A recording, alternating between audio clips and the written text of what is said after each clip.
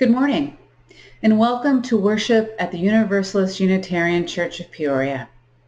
I'm Amy Pop, and I serve this congregation as its credentialed religious educator. We welcome you to our service this morning, whether it's your first time in a worship with us or your hundredth time. We hope that you'll find here ideas and questions that stretch you and liberal values that challenge you to join us in loving boldly, living justly, and welcoming all to the table. In this moment, we also honor the people of the Peoria Nation who lived, learned, and loved on this land long ago. Reverend Darrick Jackson is our guest minister today. The Reverend Darrick Jackson is the Director of Ministries for Lifelong Learning of UU Ministers Association and an affiliated community minister with Second Unitarian Church of Chicago. He is one of the authors in the book Centering, Navigating Race, Authenticity, and Power in Ministry. Darrick is active in DRUUMM, the UU Ministry for People of Color, and he is also the treasurer for Healing Moments, a ministry for caregivers of people with Alzheimer's. In his free time, Darrick likes to knit and be involved in theater. He's married to James Olson, a United Church of Christ minister, and lives with their two cats, Merlin and Morgana. If you're new to this congregation, I invite you to help us get to know you. At the end of this service will be the link for our coffee hour on Zoom all are invited to the conversation. Please send a note to the church office for more information. This congregation continues to be sustained by the care, talents, and generous gifts of our members and friends. If you'd like to make a financial gift, see the link in the chat or the slide at the end of the service. Lastly, I would like to extend a special invitation to all who are watching to attend the live streamed installation service for our own Reverend Jennifer Innes at 3 p.m. this afternoon with an on-site walk-through reception at the UU Church after the service. Now, with open minds and loving hearts, let us enter into worship.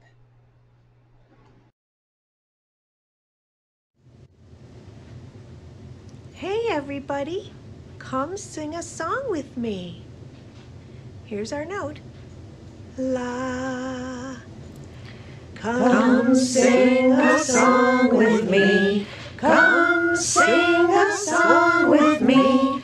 Come sing a song with me that I might know your mind. And I'll bring you home when hope is hard to find. And I'll bring a song of love and a rose in the winter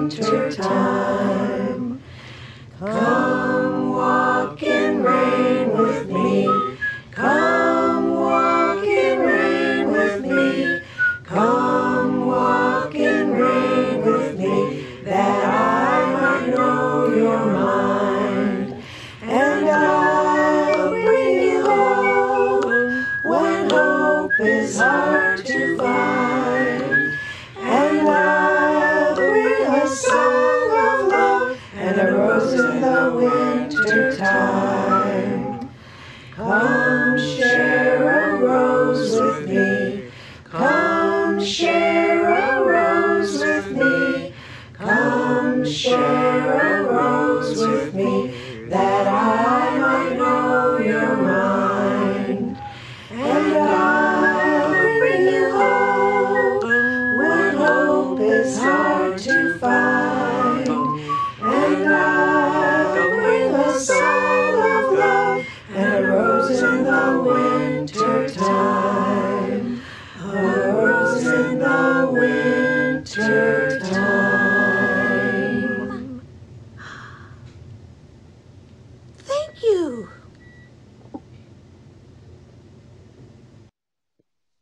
opening words are The River Call by Reverend Manish Mishra Marzetti.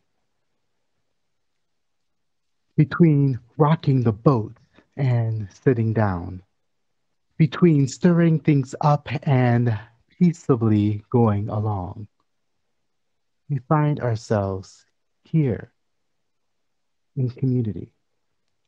Each called from many different journeys, many different life paths onto this river road. Some are here because the rocking of the boat has been too much, too much tumult, too much uncertainty, too much pain. Some are here with questions about where the boat is going, how best to steer it, where the journey ends. Others are here as lovers of the journey, lovers of life itself. Here in front, beside, behind, each a passenger, each a captain, doing the best we can.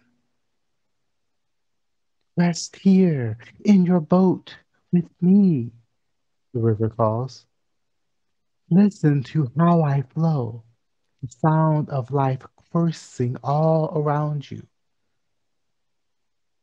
Let the current hold you. Let the current guide you.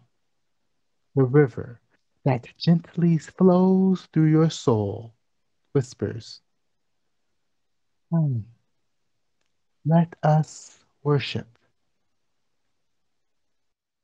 We will light our chalice this morning with these words by Erik Walker Wikstrom. In a UU sanctuary, people sing together. When we light our chalice, everyone focuses on the flame. Yet, it is the paraffin of the candle, the platinum of the wick, the potassium chloride and sulfur of the match, and the oxygen in the air around us that makes that flame possible. As leaders, we are not called to be a lone beacon on the hill. Rather, we are meant to work together so that we might together shine.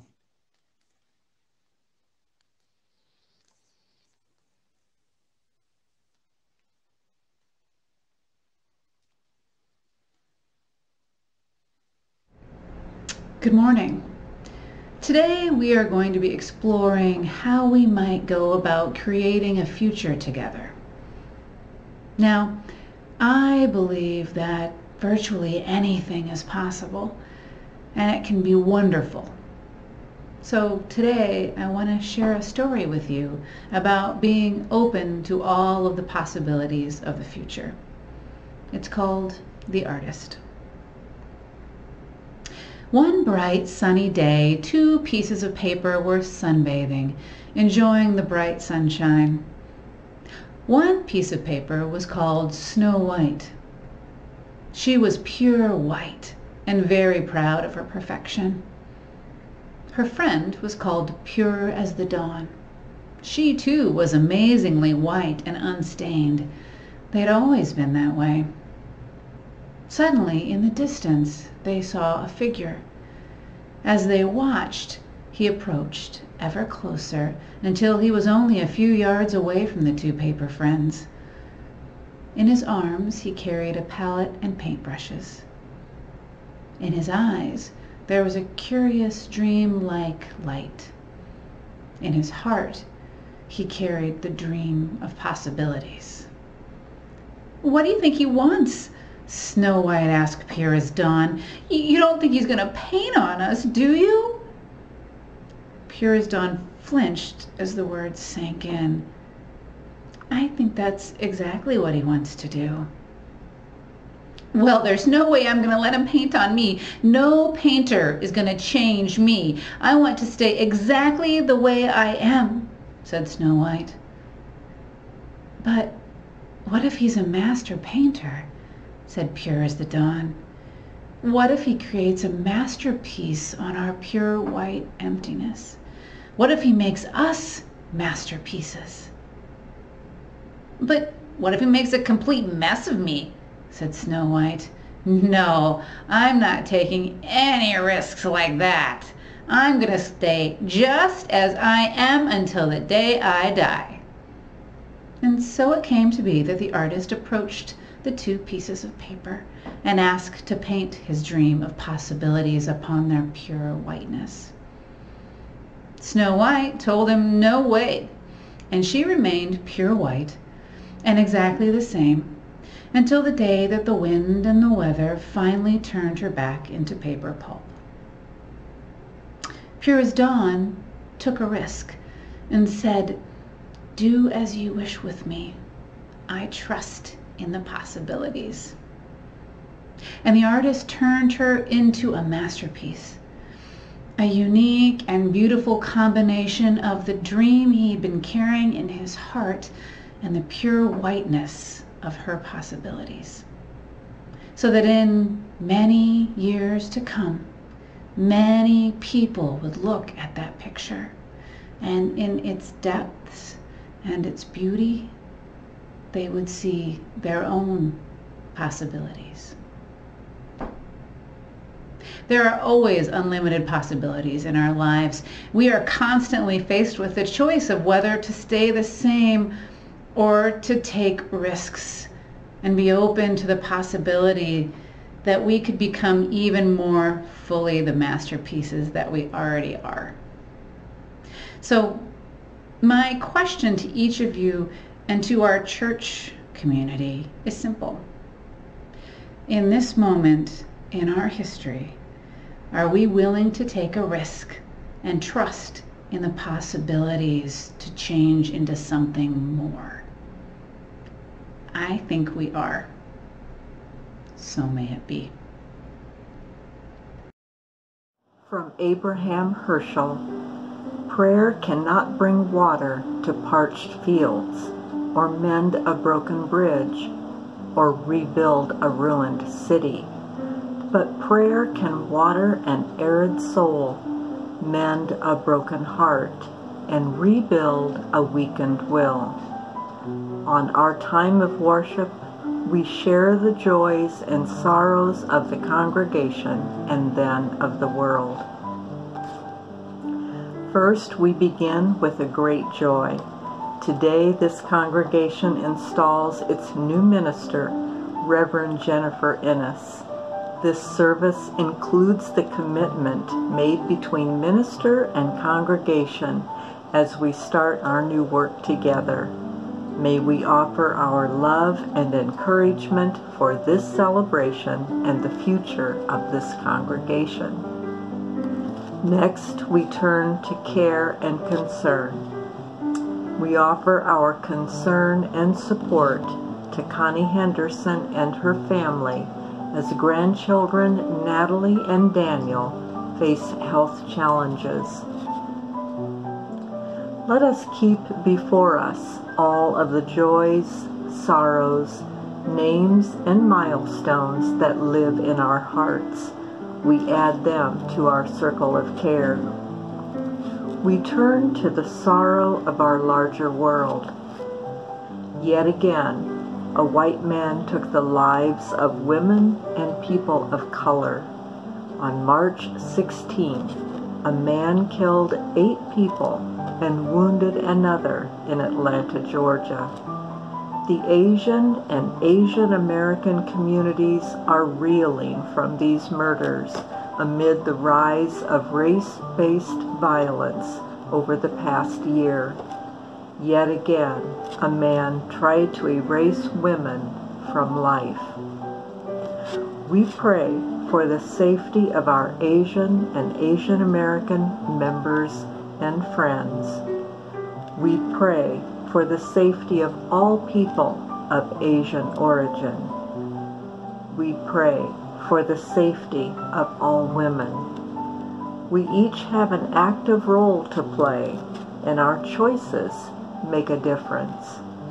May we live out the value we place on the inherent worth and dignity of every person and how we are all connected.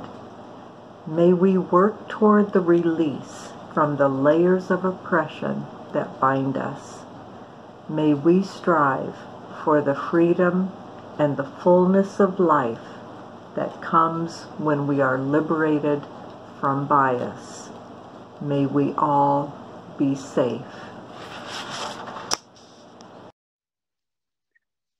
Our reading this morning is Rules of Improvisation by Tina Fey. The first rule of improvisation is agree. Always agree and say yes. When you're improvising, this means you are required to agree with whatever your partner has created. So if you are improvising and I say, freeze, I have a gun, and you say, that's not a gun, it's your finger. You're pointing your finger at me. Our improvised scene has ground to a halt. But if I say, freeze, I have a gun, and you say, the gun I gave you for Christmas, then we have started a scene because we have agreed that my finger is in fact a Christmas gun. Obviously, in real life, you're not always going to agree with everyone says. But the rule of agreement reminds you to respect what your partner has created and to at least start from an open-minded place. Start with a yes and see where that takes you. As an improviser, I always find it jarring when I meet someone in real life whose first answer is no. No, we can't do that. No, that's not in the budget. No, I will not hold your hand for a dollar. What kind of way is that to live? The second rule of improvisation is not only to say yes, but yes and you are supposed to agree and then add something of your own. If I start a scene with, I can't believe it's so hot in here, and you just say, yeah, we're kind of at a standstill. But if I say, I can't believe it's so hot in here, and you say, what did you expect? We're in hell. Or if I say, I can't believe it's so hot in here. And you say, Yes, that can't be good for the wax figures.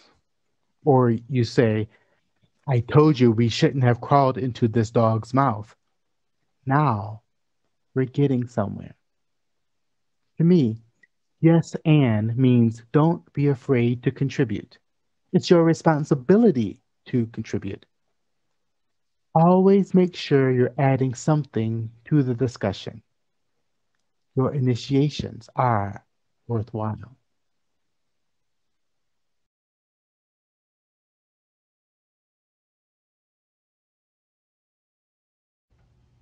You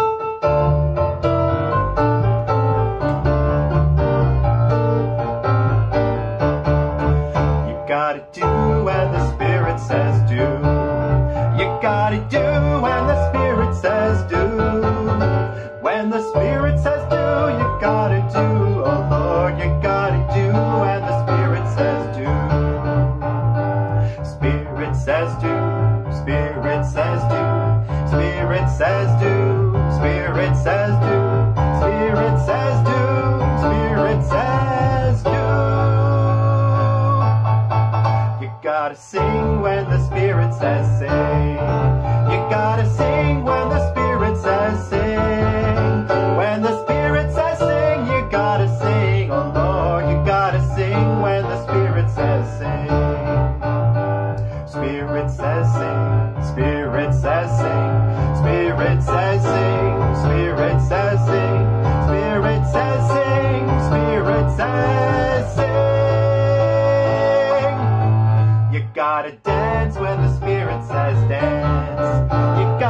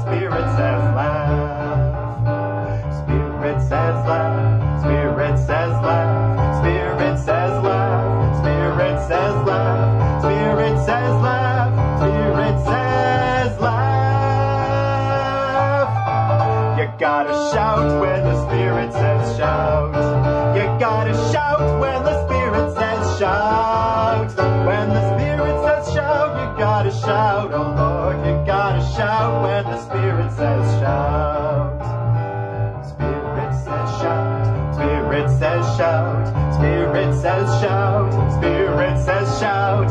Spirit says shout. Spirit says shout.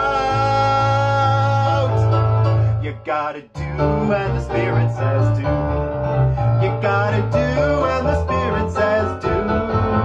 When the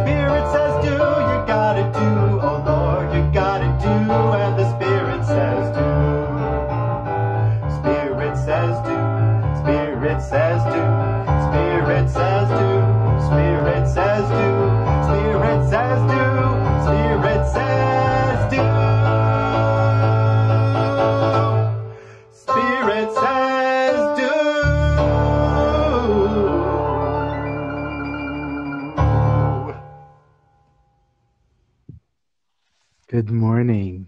It is so great to be with you um, this morning on this special day, The day that you get to install your minister.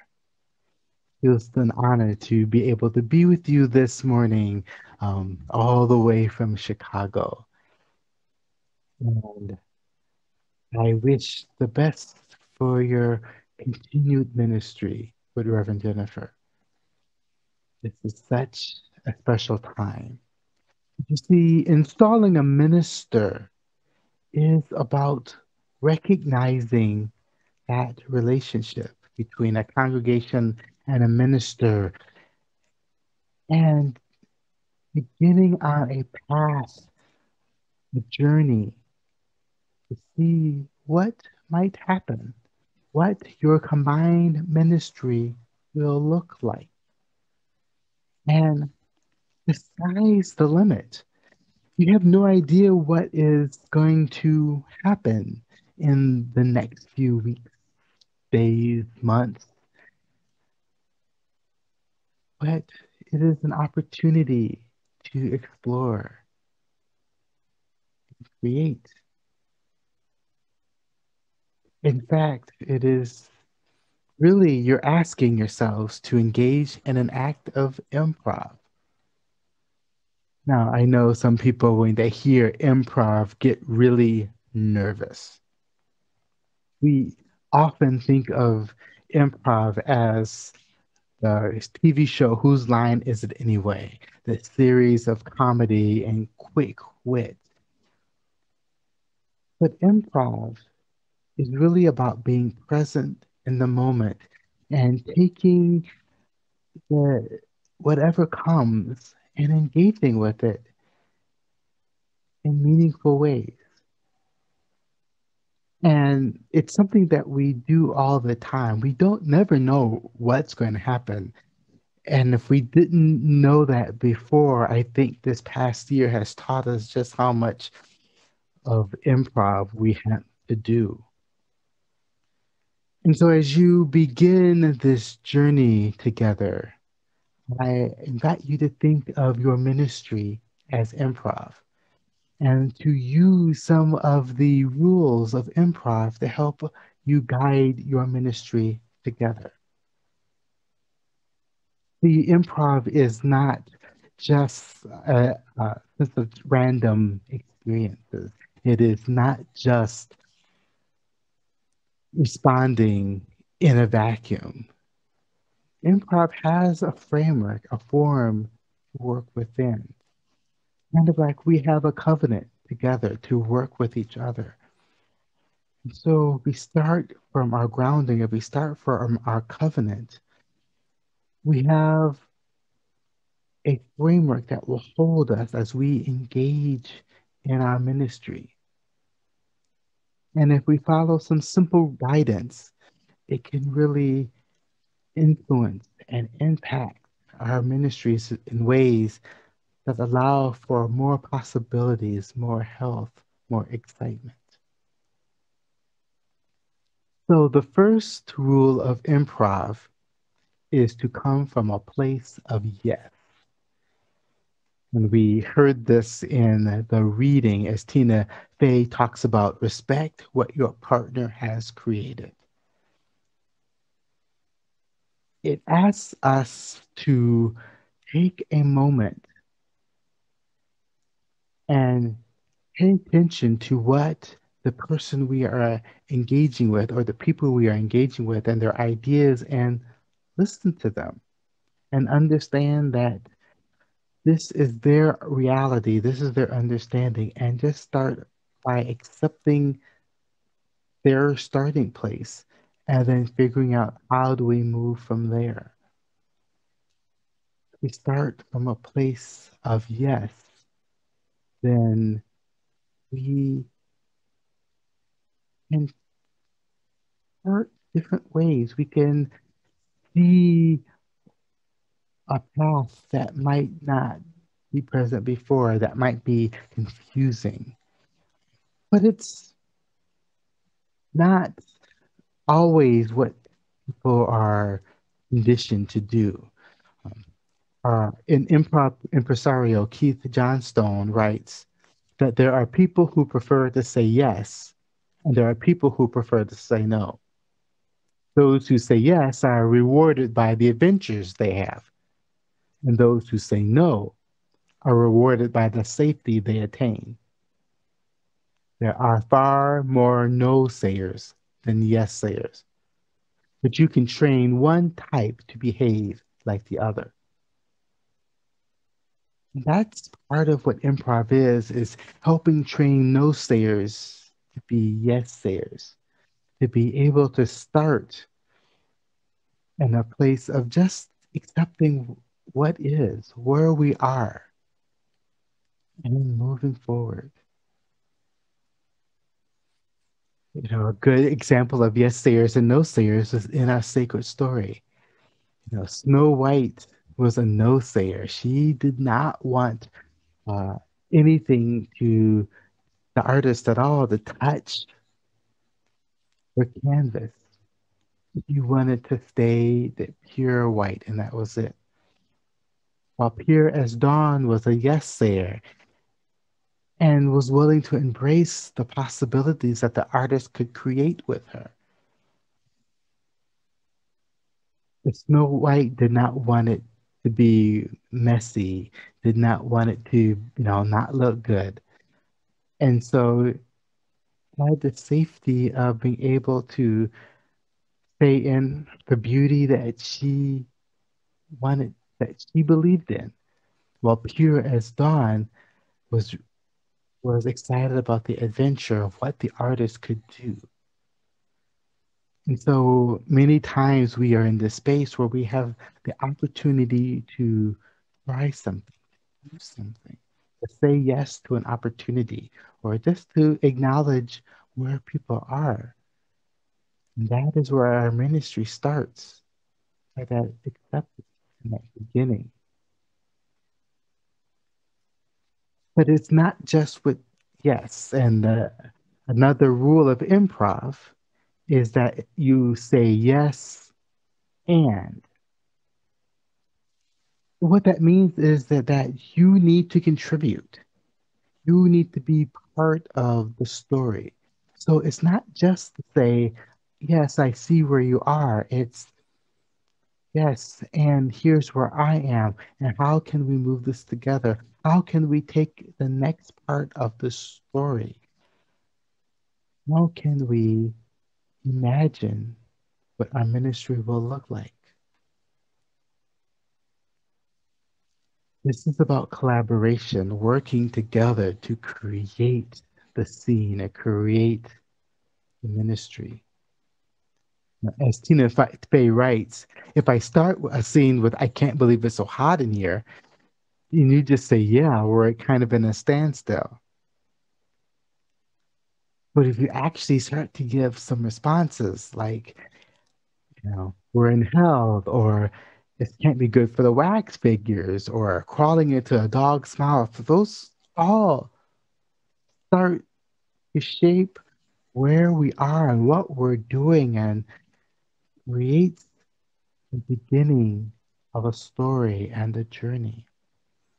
And so it's so important to collaborate in ministry, to build off of each other's ideas and thoughts and dreams, create together, co create the ministry of the congregation. It is not just the work of the minister or the congregation. You are to say yes to each other and yes and and keep building and building to see what might be, what is possible. Now we can live into our UU values and make them real in the world. Now that this next rule of improv is goes right with collaboration. It's really important. And it's one of my favorite ones, actually. It's make your scene partner look good. So in this, I, an idea of this is that when you're doing improv, it's not just about how uh, you can come off with uh, the best lines or the respond the best. It's how you support the other person is important. So if you are both making each other look good and supporting each other, then things be really interesting and it might be funny or it might be deeply serious. A meaningful scene will happen because we wouldn't let someone uh, go off in a in a odd way and um, kind of spin themselves in a hole, we would help them. We would support them. We wouldn't ask something of them that we know they cannot do. And so, this rule for me reminds me to ask how can I bring out the best in the other person? How do we work together, bringing out our best qualities and supporting and nurturing those best pieces? And also, it's those areas where we need to grow to help us grow within those growing edges to be better human beings in this world. We work together to support each other in this journey. This is for me, the our universalist side of our faith. The that recognizes that we are held in love. And that love wants the best for us. And in that love, we then also want to be the best, to do the best, to bring out the best in ourselves and others that we meet. It's this idea that, you know, we do not have to do anything to be saved because we are whole as we are. So we work to bring that wholeness out of each other and we move and engage out of that place of love and wholeness. So we start with yes, then move to yes and, and then we make our scene partner look good. And then finally, we have to be willing to fail. And this is, even though it's the last one I'm mentioning, it might even be the first one you think about. That we, that it is okay to fail. And the hope is to fail forward. What I mean by that is that when we make mistakes, we take them as opportunities for learning and continuing moving and trying again. And we keep growing from the mistakes. We don't continually repeat the mistakes because we haven't learned from them, but that they are opportunities for us to grow, opportunities for us to learn. And we embrace that. And then we hold that learning, that growth opportunity is important and central. And it means then that we are willing to risk, to try things that we may not have done before, because we are not afraid to fail. When I teach improv classes, one of my favorite exercises is called I Failed. And in this exercise, I invite everyone to say, I failed with as much as enthusiasm as they can muster. I failed. Imagine if we brought that into our lives, that failure is not something that brings shame and grief, joy and excitement. And how then it can not become an end, but a beginning of a new way of being, a new idea, a, a new understanding of ourselves.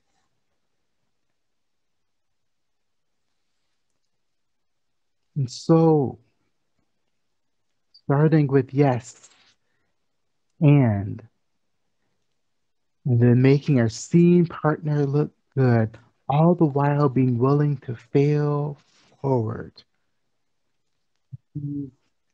Are the keys to healthy ministry.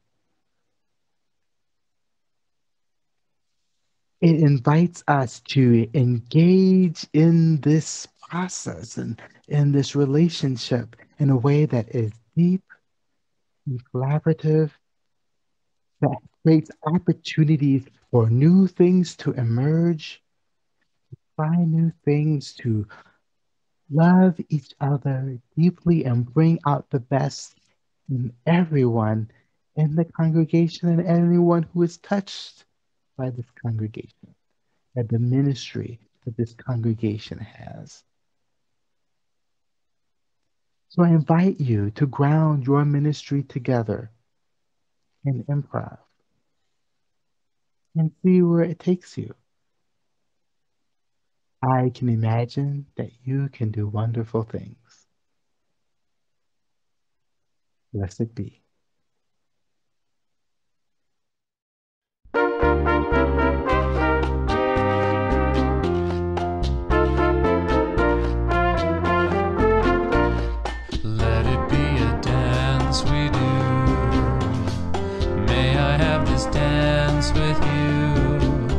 Through the good times and the bad times too.